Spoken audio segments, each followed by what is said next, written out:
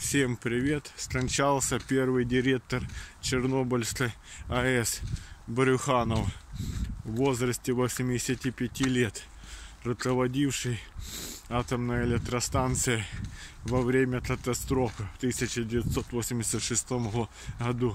После аварии Брюханов отстранили от руководства в июле 1988 года. Он был приговорен к 10 годам заключения. Уже через 5 лет Брюханова досрочно освободили. Вот как вы считаете, этот человек, доживший до такого возраста, каялся о случившемся?